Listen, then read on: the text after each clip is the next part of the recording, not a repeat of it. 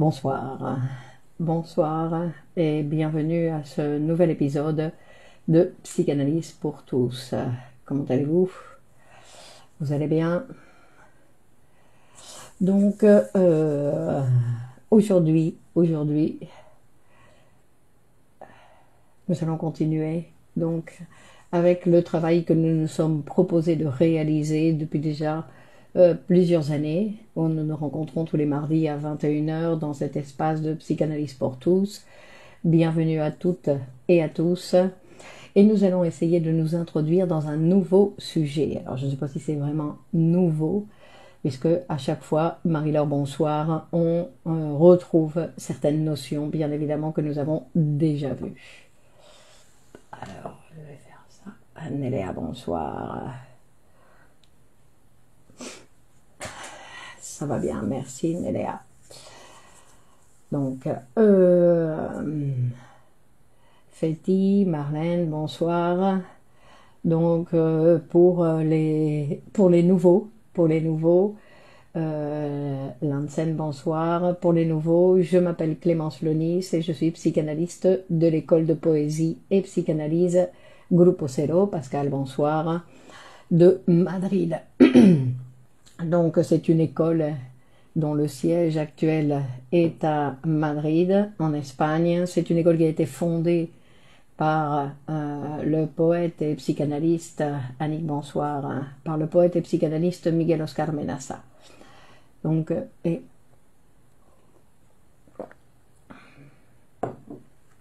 et donc, je suis ici à Madrid pour continuer ma formation de psychanalyste. Et Stéphanie, bonsoir. Et cette école existe à Madrid depuis plus de 40 ans et elle s'occupe de la formation de psychanalystes, bien évidemment, et aussi de poètes. Martine, bonsoir. Donc, euh, ce soir, ce soir, nous sommes proposés donc de voir comme titre, Olivier, bonsoir, la satisfaction substitutive. Rima, bonsoir. Michel, bonsoir. Et, donc pour ceux qui découvrent cet espace pour la première fois, parce que j'imagine qu'il y en aura quelques-uns, même si cet espace est un lieu de rendez-vous, non Susanna, bonsoir, où euh, on a l'habitude de se retrouver, nombre d'entre nous. Mais pour ceux qui ne le connaissent pas, ben, c'était un, un, espace ouvert à tous. Théa, bonsoir à tout le monde. Et, euh, et donc, et Ben, bonsoir. Et donc tout ce qui va paraître un petit peu compliqué à comprendre, euh, si c'est le cas, eh ben, c'est comme euh, toute théorie, et c'est quelque chose qui se fait petit à petit. Petit à petit, on s'approche des concepts psychanalytiques pour euh, pouvoir les assembler, les mettre en relation les uns avec les autres, pour euh, se rapprocher de cette théorie qui est très intéressante.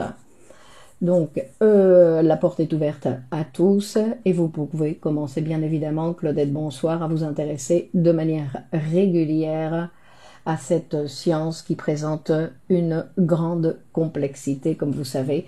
Et une complexité, pourquoi? Parce que l'être humain est un euh, sujet très complexe. Ce n'est pas que la psychanalyse est complexe, celui qui est complexe, c'est le sujet psychique. D'accord? Donc, et euh, de vouloir, oh, certains tentent à vouloir expliquer euh, de façon euh, simple cette complexité, on va dire, ou éliminer cette complexité pour pouvoir comprendre de quoi il s'agit. Damien, bonsoir. Ben, évidemment, ils perdent le cœur du sujet. Nathalie, bonsoir. Mais nous ici, le travail qu'on a l'habitude de faire dans cet espace, et pour ça on l'appelle le psychanalyse pour tous, parce que c'est un espace où justement, a priori, tout le monde peut euh, se rapprocher un petit peu de ces, de ces concepts et euh, s'introduire dans une nouvelle théorie. Christine, bonsoir. Alors, comme chacun d'entre nous peut s'en rendre compte dans notre vie quotidienne, nous nous rendons compte que l'inconscient parle. Et quand on dit que l'inconscient parle, l'inconscient parle tout le temps. Alors il ne parle pas simplement quand nous nous parlons, qui est déjà un résultat d'un travail réalisé où il y a bien évidemment la participation de l'inconscient, mais là où on va voir, Carlos bonsoir, Mireille bonsoir, Mireille Meriem. Euh, non seulement, donc on va dire qu'on va voir que l'inconscient participe dans toutes les manifestations, et, mais euh, qu'en plus il va y avoir des phénomènes qu'on va appeler les made in inconscient, c'est-à-dire des particularités où là il va y avoir une manifestation claire et nette de l'inconscient. Et c'est-à-dire que comme l'inconscient cherche toujours à s'exprimer, Bidoïc, bonsoir, ben, il va le faire d'une manière ou d'une autre. Malika, bonsoir. Et on va voir que ce qui va se manifester, ce qu'on appelle donc, Nadia, bonsoir, les formations de l'inconscient. Et les formations de l'inconscient qui peuvent bien évidemment apparaître dans la conscience et qui peuvent se manifester par exemple sous forme d'oubli. Alors l'oubli n'est pas dû ni à la fatigue, n'est pas dû ni à une maladie quelconque, sauf quand on l'a détecté bien évidemment, mais sinon que c'est une manifestation de l'inconscient. C'est-à-dire s'il y a quelque chose que nous devrions savoir et que l'information ne vient pas, c'est parce qu'il y a eu oubli, c'est-à-dire il y a eu participation de l'inconscient. Fatwa, bonsoir. Donc il y a les oublis, les lapsus, les actes manqués dans notre vie quotidienne, les rêves et bien évidemment et de façon un petit peu plus euh, obstaculisante pour être bonsoir les symptômes. Alors les symptômes qui peuvent être des symptômes mentaux ou mentaux, on va dire, ou directement euh, euh, des, manifestations dans la, dans la vie quotidienne, non avec qui ne sont pas, qui sont les effets et les accidents aussi, effectivement. Mais les accidents, on peut, peut les penser comme des actes manqués. Hein? Après, il faudrait voir et faire un direct aussi sur les actes manqués pour voir que quand on parle, Abdella, bonsoir, quand on parle d'actes manqués, ben, comme il y a intervention de l'inconscient, des fois on peut se poser la question à savoir si justement qu'est-ce qui est réellement manqué, sinon que parfois on voit que le sujet a fait exactement ce qu'il voulait faire, mais qu'il ne se permettait pas. Et donc il y a l'inconscient qui est intervenu et qui s'est manifesté pour que le sujet puisse, et Ezedine, bonsoir, et qui puisse se manifester. Donc, on va voir par exemple quand on parle de l'hystérie, l'hystérie, puisqu'aujourd'hui on va parler de la satisfaction substitutive, et dans la satisfaction substitutive, ben, les bons exemples, on va dire, j'ai mis bonsoir, il y a euh, l'hystérie qui va être un bon exemple pour montrer un petit peu de quoi il s'agit. Donc la psychanalyse, bien évidemment, n'a pas inventé l'hystérie. L'hystérie a existé avant la psychanalyse. Ce que la psychanalyse, Anne, ce que la psychanalyse explique, c'est le mécanisme de l'hystérie et le traitement pour travailler certains symptômes, on va dire, pour diluer certains symptômes. Et qu'elle va non seulement donc expliquer le mécanisme de l'hystérie, mais en plus elle va lui donner un sens mais ce n'est pas exactement ce que nous allons chercher dans un travail analytique. Ce n'est pas le sens que l'on cherche dans un travail analytique. Sina, bonsoir. Mais que les symptômes, puisque c'est de ça dont il va s'agir un peu ce soir, les symptômes, en fait, ont un sens pour la psychanalyse. C'est qu'ils ont un sens. Même, donc je répète, même si c'est pas euh, le but de trouver le sens. Donc, Aujourd'hui, nous sommes au XXIe siècle et nous ne pouvons plus penser que euh, tous ces actes, toutes ces formations de l'inconscient qui se manifestent dans notre vie quotidienne nous tombent dessus par hasard, que d'un jour à l'autre, non, on ne sait pas pourquoi, il y a quelque chose qui se manifeste ou des, des symptômes, non, des symptômes qui peuvent se manifester et qui ne sont pas ni des châtiments de Dieu, ni des mauvais esprits, ni du mauvais sort, ni d'un démon quelconque, sinon que aujourd'hui, au XXIe siècle, nous savons ou nous devrions tous savoir pourquoi bah, Pour pouvoir utiliser cet instrument que la psychanalyse est un instrument qui nous permet de euh, lire la réalité. Nathalie Bonsoir, et ainsi éviter de tomber dans le domaine des sentiments et des sensations, puisque ça c'est principalement ce que vient dévoiler la psychanalyse. Ce qu'elle vient dévoiler, c'est que nos sentiments, nos sensations sont toujours la manifestation de quelque chose d'autre, de quelque chose d'autre. Donc nous ne devrions plus avoir face aux sentiments et face aux sensations la même relation, même si ces sentiments et ces sensations peuvent continuer à exister. Nous, grâce à la psychanalyse, nous pouvons prendre une distance aussi sur ces manifestations et ne pas suivre ni nos sensations ni nos sentiments comme guides pour fabriquer notre vie. Ce ne sont pas des guides, ce sont simplement des manifestations qui se présentent et qui ont une valeur tout à fait restreinte. Alors bien évidemment, pour avoir accès à cette manière de penser cet être humain qui a été présenté par la psychanalyse avec une complexité différente, il va falloir faire un travail. Donc un travail analytique va être nécessaire pour quoi? Pour nous permettre d'incorporer de nouvelles manières de penser, de découvrir ces parties de chacun d'entre nous, ces parties de, de moi, de mon humanité, de mon humanité, dont jusqu'ici nous ne voulions rien savoir. Grâce à la psychanalyse, il y en a encore beaucoup qui ne veulent rien savoir de ce qui réellement leur arrive, mais grâce à la psychanalyse, nous avons la possibilité de découvrir un petit peu mieux qui nous sommes.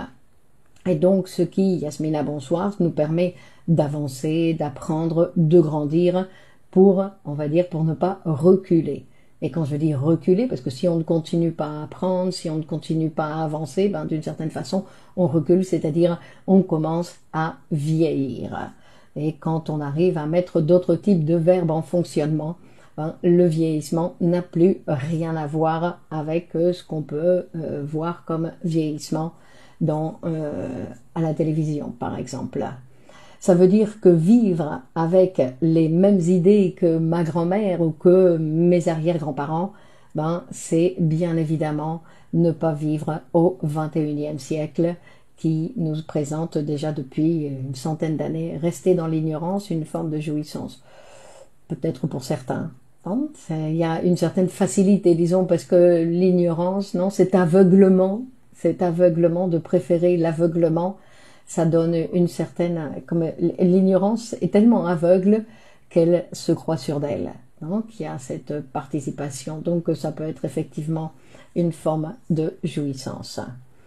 Donc, penser et vivre comme mes arrière-grands-parents, bah, ce n'est pas exactement ce qui correspond. Je dois pouvoir.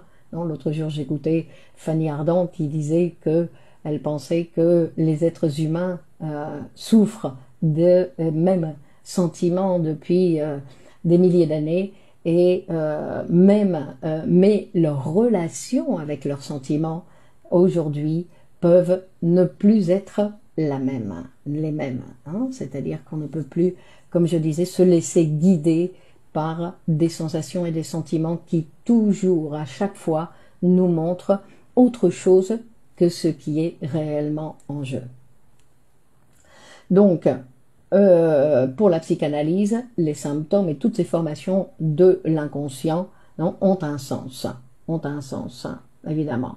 C'est-à-dire que quand euh, je me trompe d'heure pour le rendez-vous, quand j'oublie les clés pour sortir de chez moi, quand je me cogne sur le coin de la table, quand je trébuche, tout ça, ce sont apparemment des actes anodins qui nous accompagnent dans notre vie quotidienne mais qui ont tous un sens. C'est-à-dire que tous ces actes parlent, disent quelque chose que nous n'avons pas mis, euh, nous n'avons pas mis des mots. Et donc, on utilise une autre manière pour nous exprimer.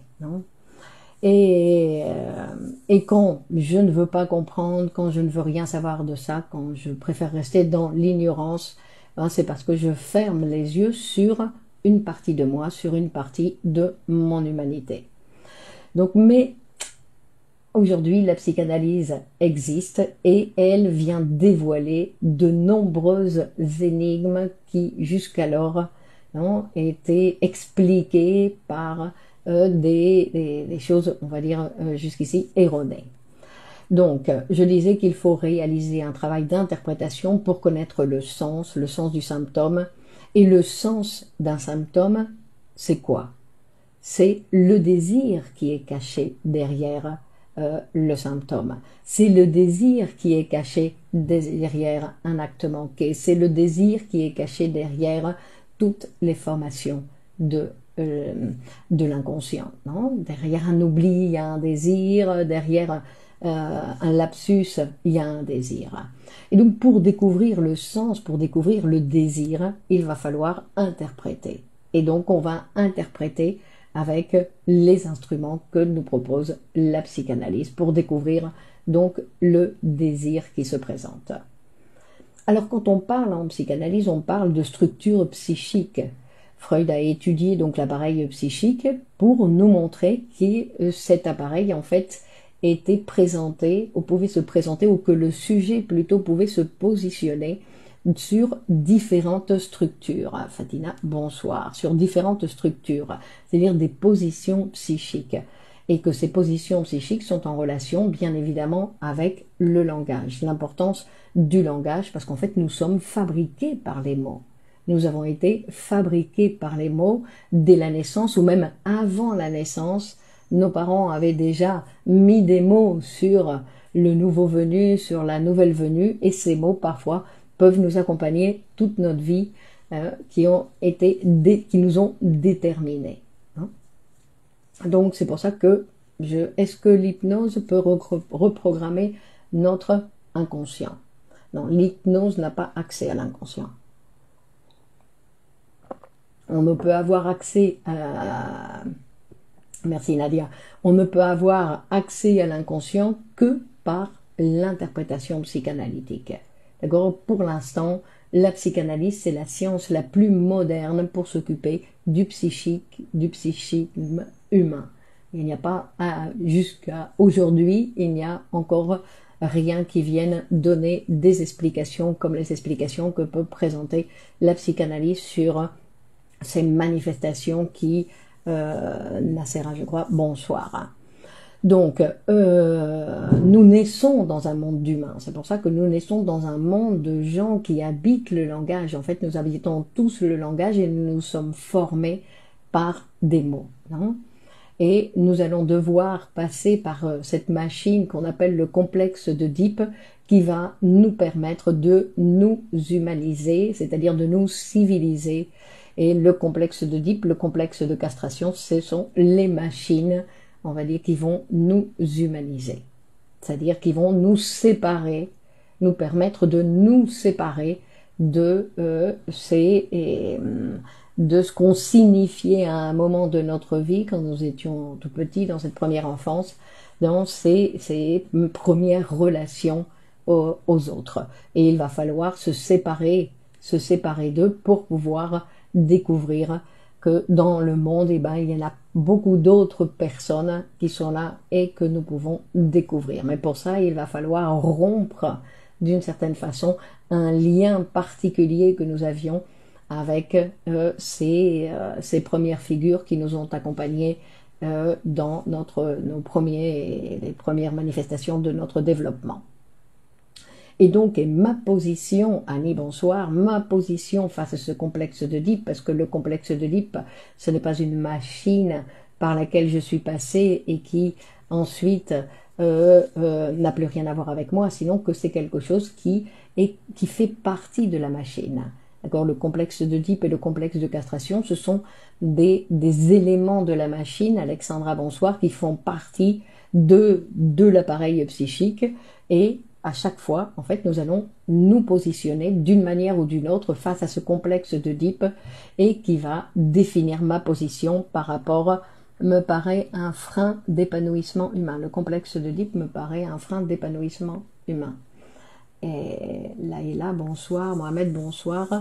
Et donc, euh, le complexe Deep, ce n'est pas un frein, c'est non, ce qui peut être un frein, c'est si euh, avant la formation du langage, comment se structurer notre psyché ben, Il n'y avait pas de psychisme, d'appareil psychique avant. Non, la formation du langage. Le langage, d'ailleurs, notre appareil psychique va se produire, Marie-Claude Bonsoir, va se produire à un moment donné. On ne naît pas avec un appareil psychique. Flore, bonsoir.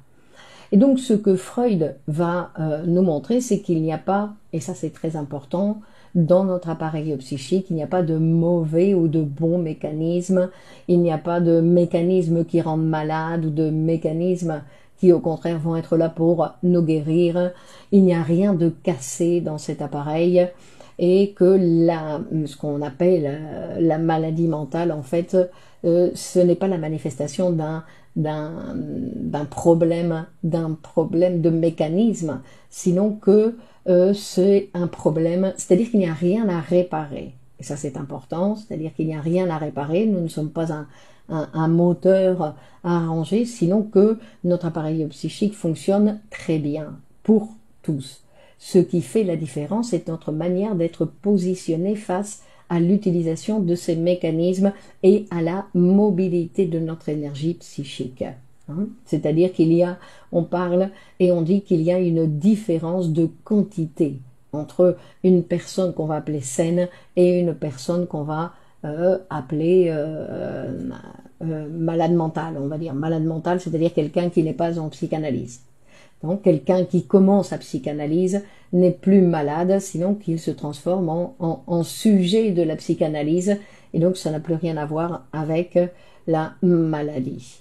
Donc il a commencé un processus, on va dire c'est un petit peu comme un myope, une fois qu'il met des lunettes, non, avec ses lunettes il n'est plus myope. Bon, c'est un petit peu la même idée. Donc c'est une euh, idée de euh, c'est une idée de différence de quantité. Vous pensez que toute personne peut se psychanalyser. Toute personne qui accepte de le faire. Parce que la particularité de la psychanalyse, à la différence de, des traitements de la médecine, c'est que la médecine peut nous obliger non, à nous vacciner, peut nous obliger à euh, prendre certains médicaments. Par contre, la psychanalyse, le sujet doit obligatoirement accepter de participer à l'opération parce que sinon le travail ne peut pas se réaliser. C'est-à-dire qu'il y a certaines personnes des fois qui viennent en disant je viens de euh, parce que ma mère, parce que ma soeur, parce que mon père, parce qu'il y a quelqu'un qui veut que je le fasse, donc je viens, mais moi je veux pas. Donc il reste un certain temps et puis après il s'en va parce que ce n'est pas quelque chose qu'il désire, ce n'est pas son désir n'est pas là, ça ne l'intéresse pas hein, que nous sommes tous différents, donc il y a des gens qui s'y intéressent et il y a d'autres gens qui ne s'y intéressent pas. Mais tout, tout le monde, toute personne qui le désire peut se psychanalyser, bien évidemment. Donc, euh, et, il y a même des psychanalystes qui euh, euh, reçoivent des sourds-muets, par exemple, non? La psychanalyse, puisque les sourds-muets aussi sont des êtres de langage. Nous sommes tous des êtres de langage, mais avec un langage particulier. Donc même les sourds-muets peuvent se psychanalyser. Donc, euh, alors, quand on parle de la différence entre euh, une personne qui a plus de difficultés, on va dire, disait que celui qui est déjà une éponge par rapport à la mère et son entourage. Je n'ai pas lu, alors attendez, je vais essayer de voir si je peux voir toute la, si je peux voir le commentaire parce que je ne le comprends pas. Je vais regarder si je peux le voir. Et bonsoir Sarah. Alors attendez, parce que vous parliez de Madame Dolto. Madame Dolto, la psyché donc se construit à partir de la naissance de l'être.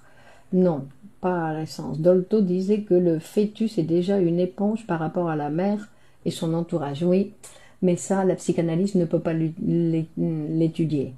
Elle l'étudie, non? Rappelez-vous que la psychanalyse s'occupe de l'adulte on va dire que de l'adulte, parce que là, euh, euh, il est déjà une éponge par rapport à la mère, donc on doit s'occuper de la mère. On doit s'occuper de la mère et de l'entourage de la mère, pas du, pas du fœtus, hein, puisque le fœtus ne parle pas et que nous, nous avons besoin d'un être qui parle et qui va s'exprimer. Donc, euh, alors attendez, on va mettre ça de ce côté-là pour voir si on peut continuer à faire les deux choses.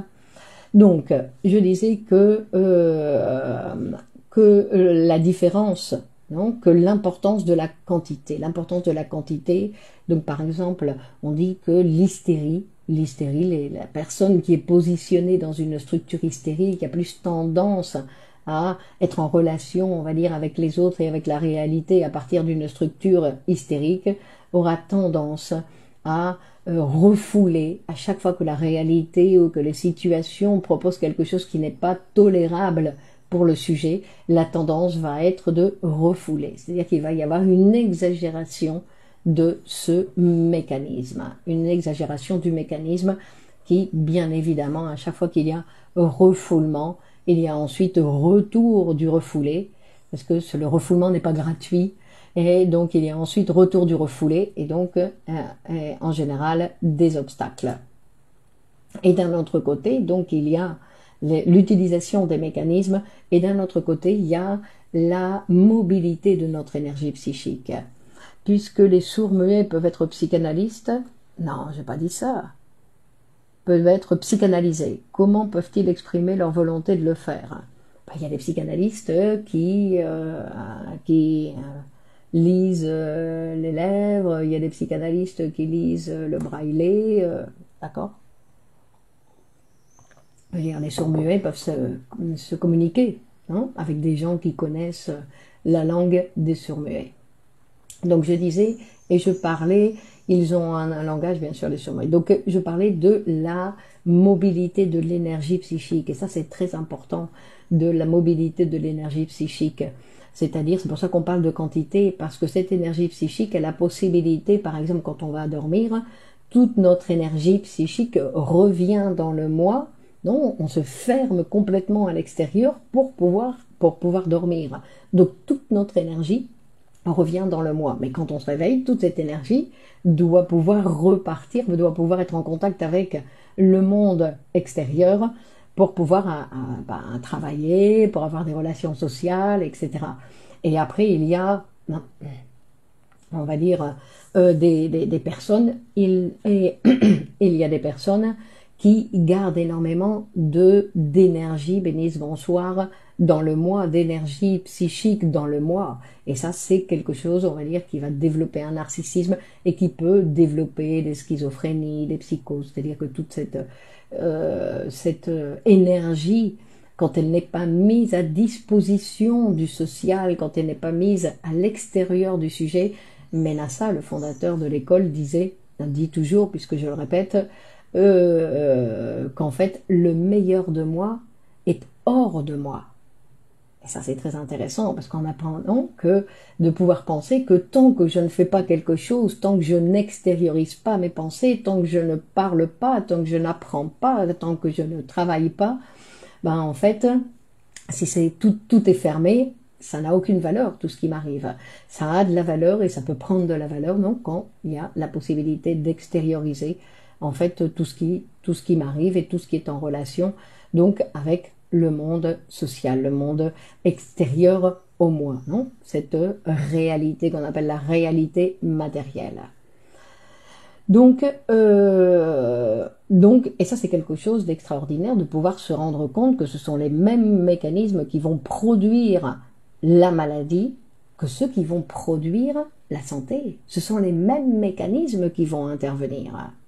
C'est-à-dire que euh, il peut y avoir, on dit qu'il y a le même mécanisme. Quelle est la solution pour gérer l'énergie des gens qui ne dorment pas? Se psychanalyser, Nadia.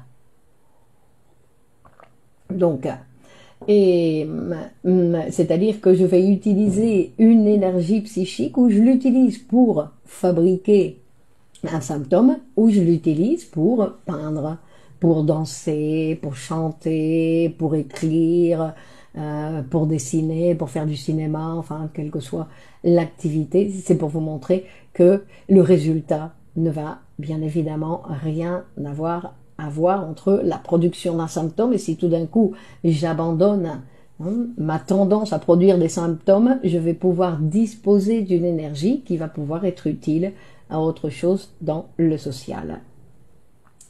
Donc prenons, non, c'est donc si je dispose de cette énergie psychique, pour réaliser ce que je veux réaliser. Et c'est de ça dont il s'agit. C'est pour ça qu'il ne s'agit pas en psychanalyse exactement de donner du sens à certaines choses, sinon que ce dont il s'agit, c'est de pouvoir libérer l'énergie qui parfois est restée bloquée quelque part, bloquée quelque part et qu'elle tourne en rond quelque part, alors que ce dont il s'agit, c'est de pouvoir ouvrir la porte de cette énergie pour que l'énergie puisse avoir accès à l'extérieur et que le sujet puisse enfin vivre ce qu'il prétend vivre. Comment se fait la satisfaction substitutive dans l'obsession? Le symptôme non, de la névrose, c'est de la névrose de transfert, on va dire, c'est la satisfaction euh, d'un désir. Parce qu'il y a les mêmes mécanismes qui vont être en jeu pour la fabrication d'un symptôme que pour la fabrication d'un rêve.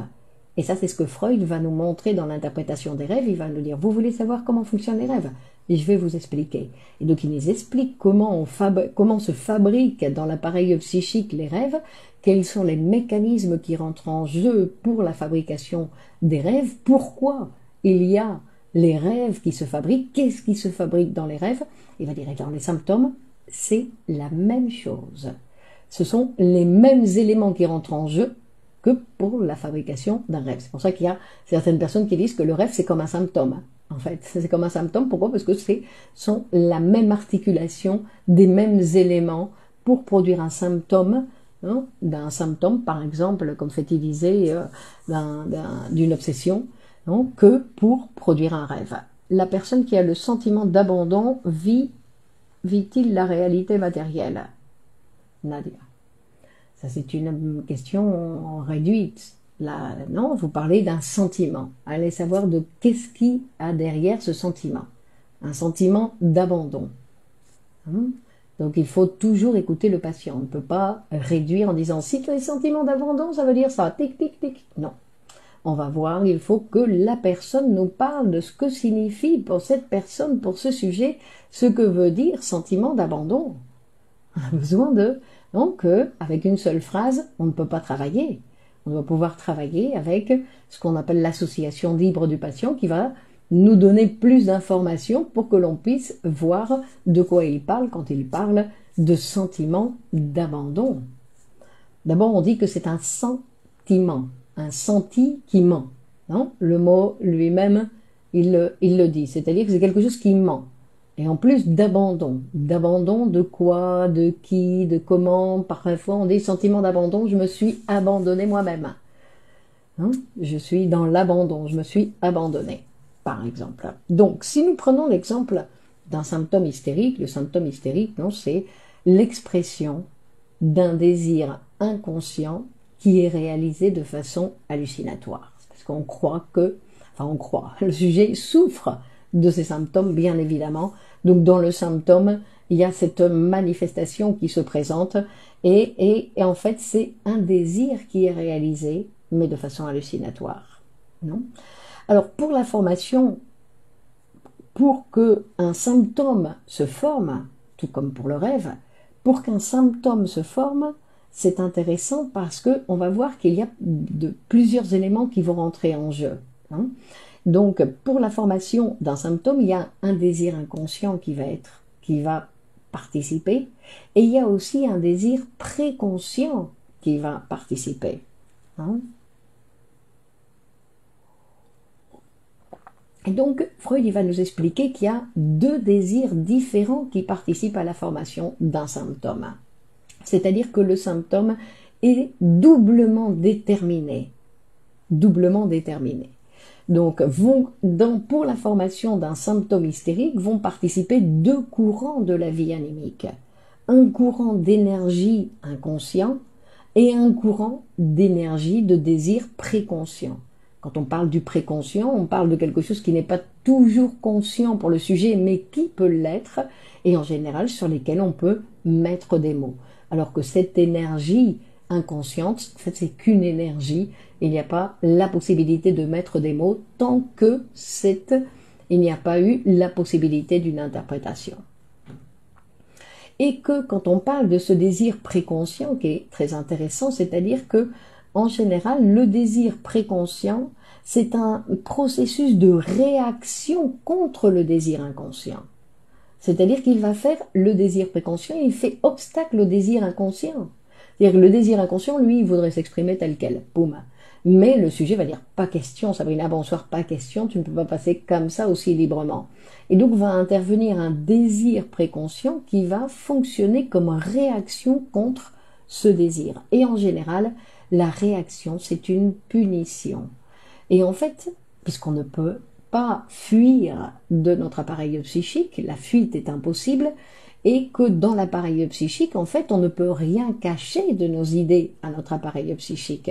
Même si on se tait, même si on ne dit rien à personne, si on a désiré des choses hein, qui s'opposent à, au surmoi, qui s'opposent aux exigences du, surmoi, au désir du moi, ben, il va y avoir opposition. Et donc ce désir ne va pas pouvoir se manifester. Et une des oppositions, c'est donc ce désir précaution qui va venir et qui va hum, intervenir dans la fabrication du symptôme. C'est pour ça que le symptôme, on dit que c'est une satisfaction substitutive, même si bien évidemment le symptôme est douloureux. Parce que le symptôme, en général, c'est un obstacle dans notre vie, c'est quelque chose donc on aimerait bien pouvoir éliminer. Mais en fait, d'un côté, dans le symptôme, il y a quelque chose qui se réalise. Le désir inconscient s'est réalisé dans le symptôme. Mais en même temps, dans le symptôme, il y a la punition d'avoir désiré quelque chose qui n'est pas toléré par les autres instances de l'appareil. Nadia dit, cette énergie inconsciente, elle s'incubait déjà chez les sujets hyperactifs étant enfants. Non, l'énergie inconsciente, elle est tout le temps là. Donc, notre appareil psychique, c'est un, appareil qui fonctionne constamment. Et nous disposons tous, chacun d'entre nous, nous disposons d'une énergie différente. D'accord? C'est-à-dire que chacun d'entre nous, nous disposons d'une énergie. Et pour tous, cette énergie, elle est différente. Elle est différente en quantité. Il y a des gens qui disposent d'une grande quantité d'énergie et il y a des gens qui disposent de très peu d'énergie, par exemple. Mais il faut, pour savoir quelle quantité nous disposons, il faut déjà la libérer. si des fois on dit euh, non, lui il n'y a pas d'énergie du tout, mais pourquoi? Parce que en fait toute son énergie elle est bloquée quelque part. Donc ce n'est pas qu'il n'a pas d'énergie, c'est que son énergie elle est bloquée. Si nous libérons cette énergie, on va voir que il y aura la possibilité de, de, de disposer de plus d'énergie. On va dire. Donc je disais que pour la formation des symptômes, il y a d'un côté ce désir inconscient qui est réalisé, et de l'autre côté, il y a d'une manière déguisée, et en plus déguisée dans le sens où le sujet va dire comment moi je réalise un symptôme, un, désir sous forme de ce symptôme que je ne supporte pas, que je voudrais éliminer, qui vient troubler ma vie de façon constante, et vous, vous me dites qu'il y a un désir que je satisfais. Ben oui, c'est bien pour ça que c'est très difficile de les éliminer, les symptômes. Parce que sinon, non seulement c'est difficile, parce qu'en fait, ils sont soutenus par deux déterminations, une détermination inconsciente et une détermination préconsciente qui le soutient, qui le forme, qui le fabrique et qui le maintiennent.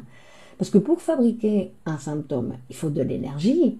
C'est pas qu'il est installé et du coup euh, après il fonctionne. Euh, non, non, il y a constamment de l'énergie qui est là pour, bah, par exemple, on va dire euh, non, il y a un exemple. Euh, un exemple, ben, par exemple, quand on parle de ces phénomènes de l'hystérie, par exemple une hystérie euh, qui a une, une paralysie du bras. Tout d'un coup, son bras s'est paralysé. on va voir les médecins, les médecins ne trouvent rien d'anormal, apparemment toute l'anatomie n'a pas été touchée, tout est bien, mais la personne ne peut pas bouger le bras. Donc, donc vous voyez que c'est incapacitant, qui se retrouve avec un, bras qui ne peut plus bouger. Et donc, euh, c'est euh, une satisfaction de désir et en plus une punition, puisque se retrouve avec l'impossibilité de bouger le bras. Alors, quel est le désir qui est caché derrière l'immobilisation du bras ou la paralysie du bras? Ben Ça, il faut analyser le sujet. C'est-à-dire que pour chacun, ça va être quelque chose. Alors nous, nous savons, à partir de la théorie, que le désir qui est en jeu, c'est toujours un désir sexuel infantile réprimé. Mais pour chaque sujet, pour la formation de ce symptôme, c'est un désir particulier. Non? Par exemple, un cancer peut être la réalisation substitutive d'un désir.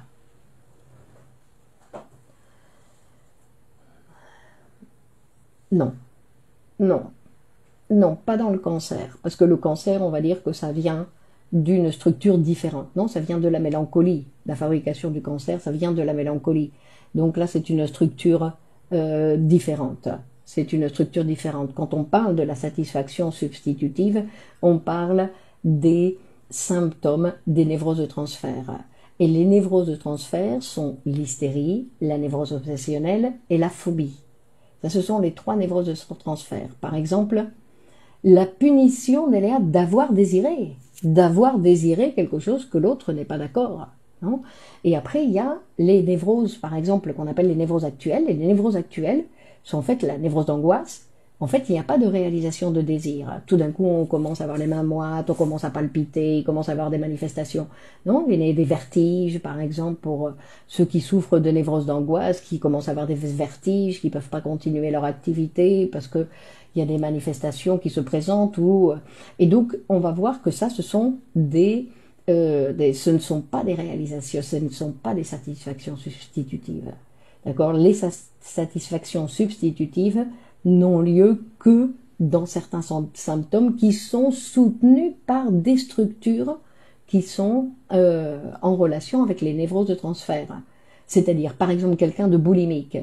Ben, quelqu'un de boulimique, tant que nous n'avons pas étudié le sujet, tant que nous ne l'avons pas écouté, nous ne savons pas si sa boulimie et euh, la boulimie d'un dépressif, si la boulimie c'est la manifestation d'une hystérie, si la boulimie elle, est, euh, elle repose sur quelle structure, elle a été fabriquée par quelle structure. Donc c'est pour ça qu'on ne peut pas penser que euh, le, la le symptôme, on ne peut pas savoir à partir du symptôme de quelle structure, quelle structure la produit. À chaque fois, il va falloir étudier, écouter le patient pour découvrir, mais c'est pas le but de la psychanalyse. Rappelez-vous, le but, non, ce sera de pouvoir interpréter ce qui arrive au patient sans chercher à savoir, bien que très souvent les patients nous montrent, non, il y a certaines, certains patients qui montrent très rapidement en fait leur manière, pas simplement pour la production des symptômes, sinon leur manière d'être en relation avec la réalité, qui vont montrer qu'ils ont une position plus euh, plus obsessionnelle ou plus hystérique selon, selon les cas ou plus phobique. Non, ce sont des positions en relation avec notre désir. Tandis que par exemple l'hystérie, là, on va voir que l'hystérie, ce que fait la structure hystérique, comme je dis auparavant, c'est que sa tendance, ça va toujours être à refouler. À chaque fois qu'il y a quelque chose qui ne lui convient pas, qui est intolérable, ou les instances, non, parce que c'est une question où les instances, euh, chaque instance exige quelque chose de différent et qu'il n'y a pas, qu'il y a conflit. Et donc face au conflit, boum, refoulement. Et donc ça, on va voir que c'est un mécanisme très utilisé par l'hystérie. Hein. Bonsoir, Jazz. Donc, le symptôme hystérique, en fait, va naître quand deux réalisations de désir contraires et provenant chacun d'un système différent, puisque de l'inconscient et du préconscient, vont coïncider en une seule expression. D'accord? Ce sont donc le symptôme est soutenu pour sa fabrication par deux piliers, deux piliers différents. C'est pour ça que c'est difficile d'éliminer le symptôme. Le symptôme, on va dire bleu lumière bonsoir, va résister, Va se maintenir. Pourquoi? Parce que en fait, il est, renforcé par un système et un autre. Alors, quand on parle de structure, on peut penser qu'il s'agit de quelque chose de fixe, non? Comme s'il s'agissait d'un échafaudage, d'une structure. Mais en fait, euh, euh, la boulimie est un symptôme lié à un problème d'oralité. Pas toujours, Annie, pas toujours. D'accord? Il faut à chaque fois étudier. Bien sûr qu'il y a la, la, l'oralité, comme vous dites, qui est en jeu, puisque c'est avec la bouche, mais que c'est pas un problème d'oralité. Non, il y a des gens qui parlent beaucoup, qui parlent beaucoup, et on dit ils ont un problème d'oralité. Tout le monde, nous avons des problèmes d'oralité, mais c'est pas des problèmes. C'est la pulsion orale qui a besoin de s'exprimer.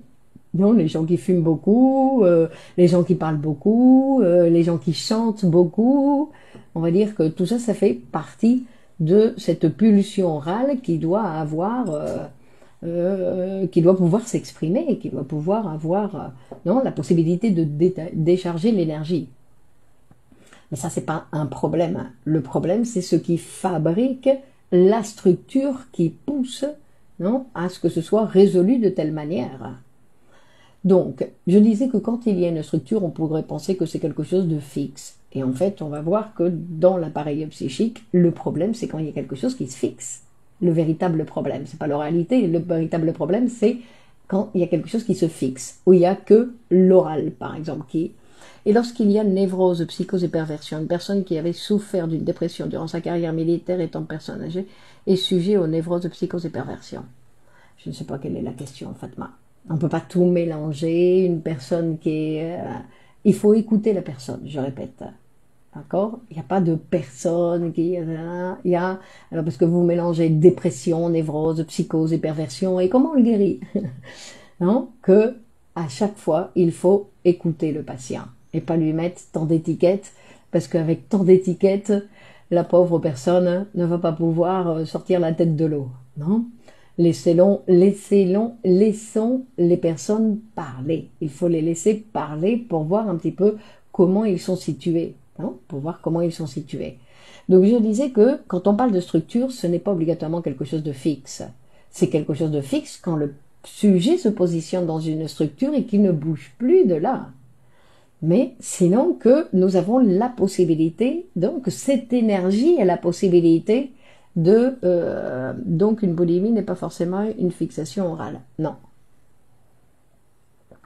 Que le problème ne vient pas obligatoirement là. Cette personne est devenue pervers narcissique, pervers narcissique encore, ça c'est... est devenue à la mode. Cette personne est devenue fortement à la mode. Pervers narcissique. Qu'est-ce que c'est un pervers narcissique? Donc aujourd'hui, euh, tout le monde est pervers narcissique. Hein. Attention, aujourd'hui, c'est tellement à la mode le pervers narcissique. Nous sommes tous narcissiques.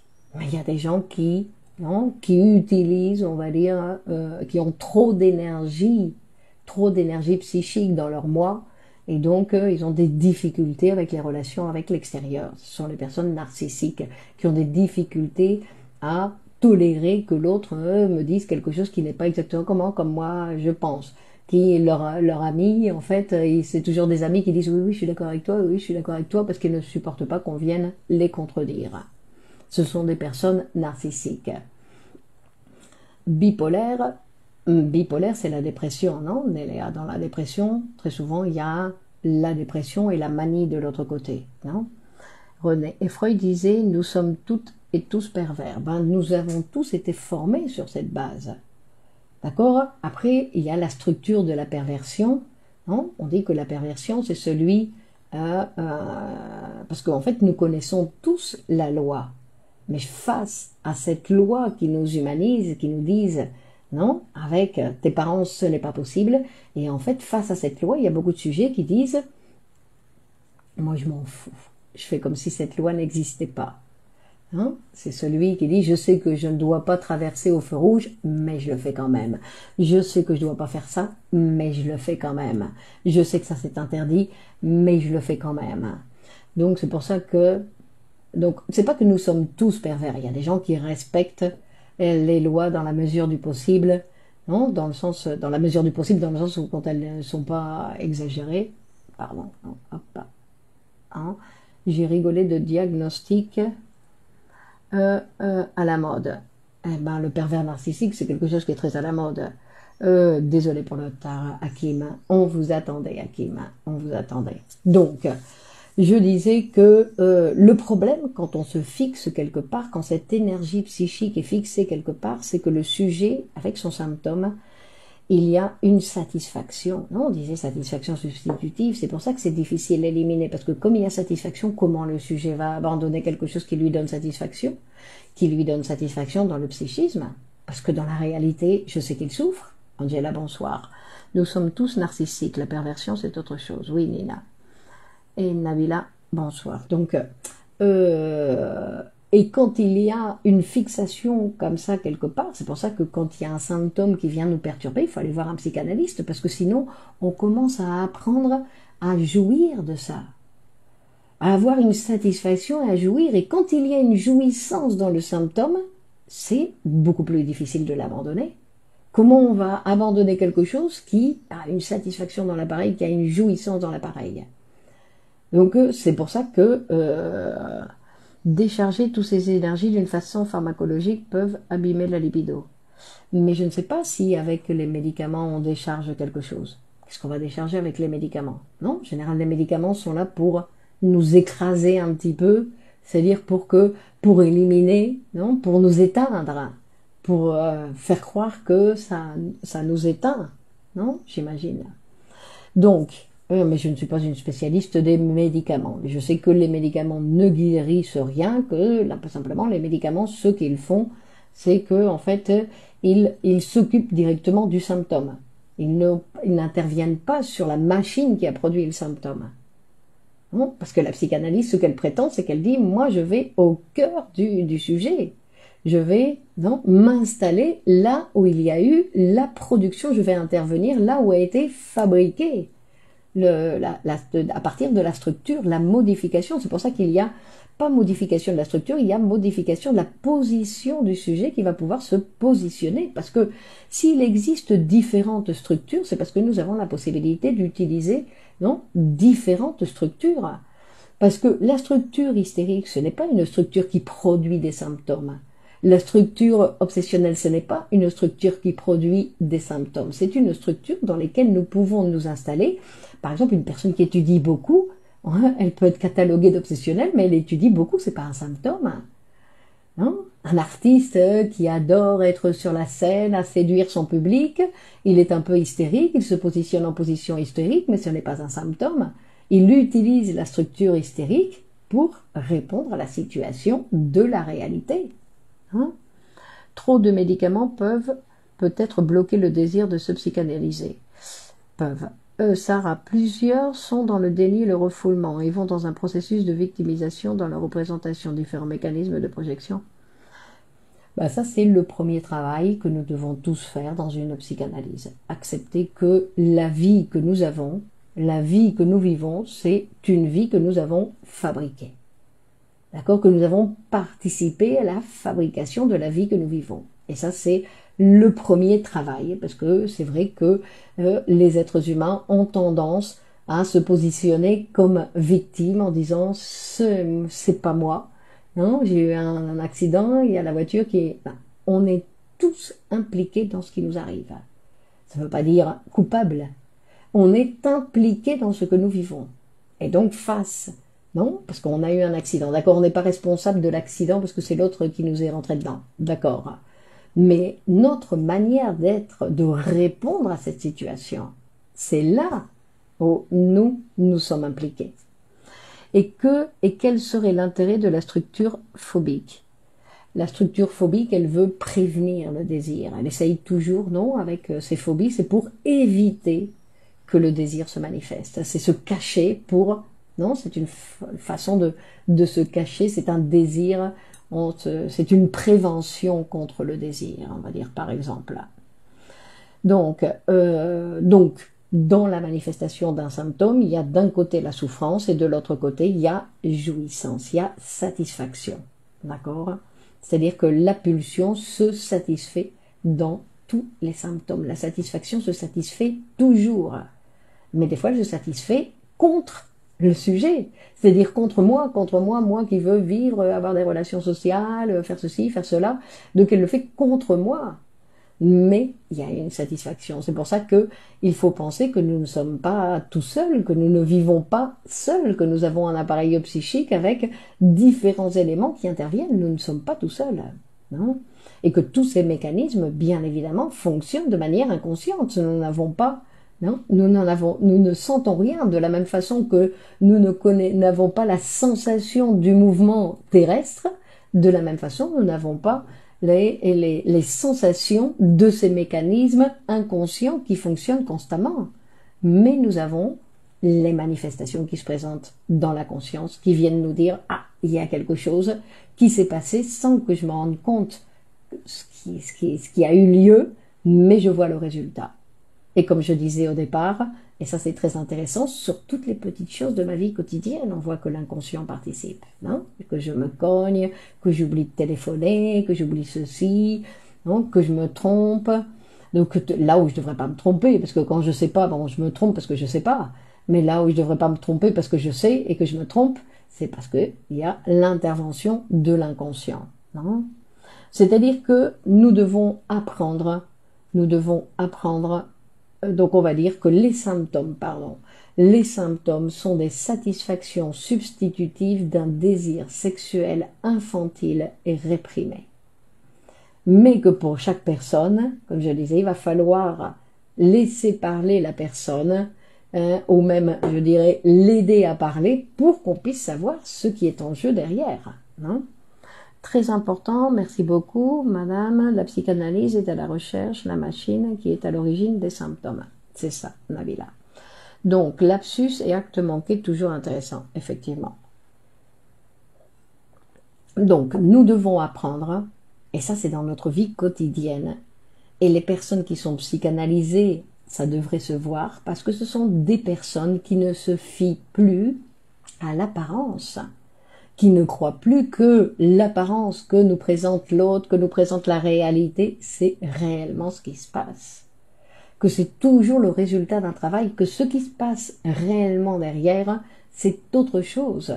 Et même dans la réalité matérielle, même dans les élections en France, on croit que, on va voir, ne croyez pas trop l'apparence, on va voir réellement après ce qui est en jeu, non Ce qui est en jeu, parce que ce qu'il y a, l'apparence, c'est ce que nous dit la télévision, et la télévision, non, c'est qu'une apparence.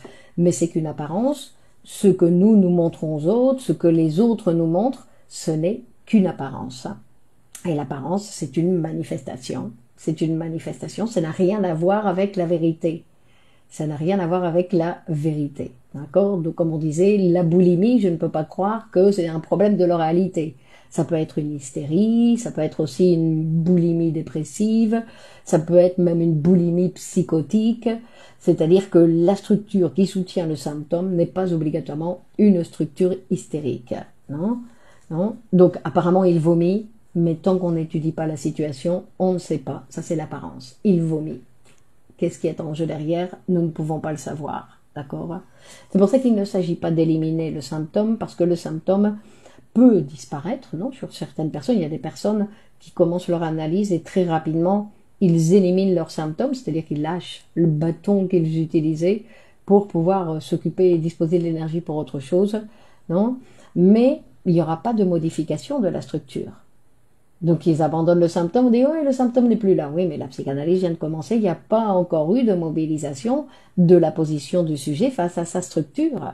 La structure reste identique. Donc dans le travail analytique, ce, non, c'est de modifier la position du sujet pour qu'il utilise les structures de façon différente, pour pouvoir disposer de l'utilisation des autres structures, des autres mécanismes, etc. Non? Et donc, euh, donc on disait que c'était la, répression, le refoulement qui fonde l'appareil, non? Et que ensuite, comme il y a ce refoulement primaire qui va fonder l'appareil, c'est-à-dire qu'il va le diviser, qu'il va y avoir à partir du refoulement, il y a une partie qui va partir dans l'inconscient, tout ce qu'on a oublié de notre petite enfance, non? Tout ça c'est parti dans l'inconscient, et après, il va y avoir l'autre partie qui va être divisée entre préconscient et conscient. Puis après, il y avait les instances qui vont s'installer. Mais tout ça pour dire que une fois qu'il y a eu cette, ce premier refoulement, en fait, toutes les informations, tous les éléments qui vont se rapprocher de ce matériel qui a été refoulé, à chaque fois qu'on se rapproche, ben, que fait le sujet?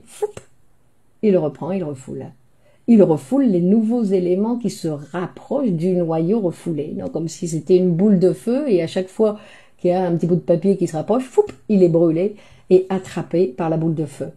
Donc c'est pour ça que au plus on a tendance à refouler, au plus on continue à refouler et au plus il y a de matériel de refouler. Donc euh, au plus on réduit petit à petit notre vie. D'où l'importance d'aller voir un psychanalyste pour pouvoir parler, pour, au lieu de refouler, de mettre des mots, de pouvoir apprendre à mettre des mots. Et quand je dis, des fois la dépression devient invalidante pour certains sujets. Et donc c'est pour ça que quand je dis que la psychanalyse c'est apprendre à parler, mais c'est apprendre à parler d'une manière différente, où je ne viens pas raconter exactement ce qui m'est arrivé, sinon que je viens mettre des mots que si je n'ai pas cet espace pour parler, bah, ces mots ne sortiront jamais. Parce qu'il n'y a personne qui m'écoute comme m'écoute le psychanalyste. Chaque personne, quand je racontais mes histoires, même celui, alors il y a celui qui se tait, qui dit rien du tout, mais celui-là, il m'écoute pas. Non, celui-là, il m'écoute pas. Et les autres, sinon, ils vont intervenir en disant oui, moi c'est pareil. Donc, l'importance de pouvoir mettre des mots, d'apprendre à parler pour pouvoir mettre des mots sur des choses que tant qu'il n'y a pas de mots, elles n'existent pas. Elles n'existent pas pour moi. Il va falloir pouvoir mettre des mots sur certaines choses pour qu'elles puissent exister. Et une fois qu'elles existent, elles changent. Elles changent, elles n'ont plus la même valeur, elles n'ont plus la... Non, il y a des gens qui disent, non, non, ça, je ne veux pas vous le raconter. Non, ça, je préfère ne pas vous le raconter parce que je sais que si je le raconte, ça va se transformer. Et je ne veux pas que ça se transforme. C'est-à-dire qu'il y a la résistance, bien évidemment, du sujet. et, et donc, on va voir mettre des mots, mettre des mots, mais mettre des mots, c'est un apprentissage. Ça ne se fait pas du jour au lendemain. Ce n'est pas venir, euh, comme on va euh, chez le curé, avouer Non, ce qui, ce qui nous est passé par la tête, c'est apprendre à parler pour disposer de cet espace, pour à chaque fois mettre plus de mots, mettre plus de mots, couvrir plus d'espace, pour que ma vie, en fait, elle se multiplie, qu'il y ait de plus en plus de phrases dans ma vie. Alors, pour terminer, je vais vous dire, non, on dit que Freud appelle donc l'important au niveau holistique, psychanalytique, humaniste. Freud appelle donc les névroses de transfert, les phobies, les hystéries, les névroses obsessionnelles, des névroses de transfert. C'est-à-dire, ça s'appelle, pourquoi ça s'appelle des névroses de transfert? c'est très intéressant parce que ce sont des patients qui sont capables de transférer leur monde psychique dans le monde réel. Et ils croient que le, ce qu'ils appellent monde réel, c'est le réel.